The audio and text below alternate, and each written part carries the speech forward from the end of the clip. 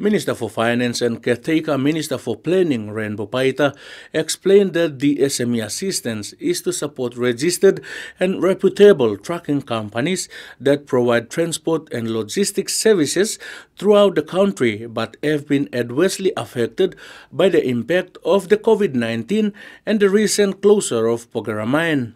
The assistance comes under the ambit of support to small to medium enterprises sector Trucking companies have continuously provided trucking and logistics services to support industries, so this support to prop up their businesses in such difficult times is timely and also long overdue.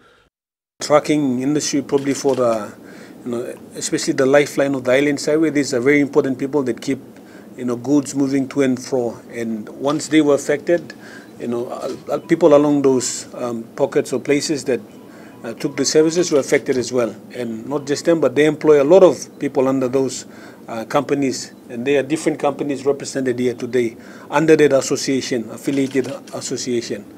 Minister Paita said the government made this landmark decision to support this SME sector through the national budget under the auspices of the Special Intervention Program.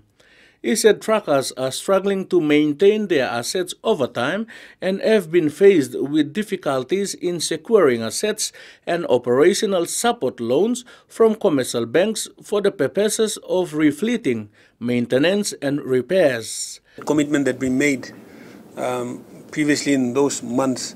So I'm very thankful to the department, uh, my secretary, and his hardworking team who have been able to identify uh, funds within that program or special intervention program and for us to honor our commitment so that they know that uh, once we give our word, we honor our commitment on our path as well. The 10 million kina will be managed through the PNG Trucking Association, who will administer disbursements and reporting through an agreed approach in consultation with the Department of National Planning and Monitoring.